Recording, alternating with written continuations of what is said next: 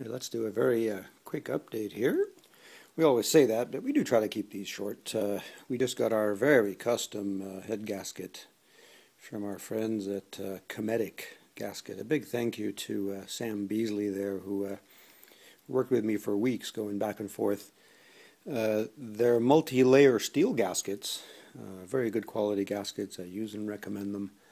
We could not get the way this block was bored to work with the embossments of the gasket to move the cylinders as much as we had to for this block. This thing was really customized and uh, has led to uh, all sorts of uh, compromises, if you will, but we're overcoming them. It just takes some uh, some diligence and some time and some help from uh, people like Sam. Um, this is a solid copper gasket at my specified thickness.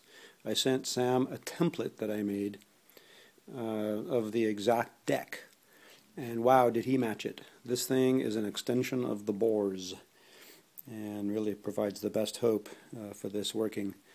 We have our uh, head sitting here, and uh, you know part of the problem here with moving the cylinders is I had to I had to specify all these measurements to make sure our combustion chambers weren't going to be uh, in the wrong location. But I think we're going to be okay, and having this gasket perfectly match the cylinder walls is going to give us uh, our best hope of having a good seal here with our race engine.